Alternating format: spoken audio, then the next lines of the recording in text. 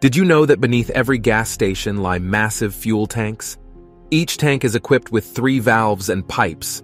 When a car refuels, the fuel travels via the first pipe into the vehicle's tank, and once refueling stops, the pipe valve automatically shuts.